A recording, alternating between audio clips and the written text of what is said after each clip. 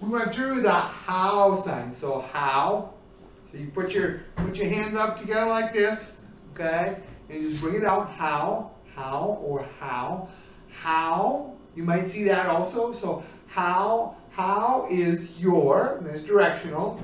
So you point to the person your. Remember this is you, and open hand is your. So how is your? And then family is two F's, and you bring them around the circle. Okay, is family, and I always remember the opposite way up is important.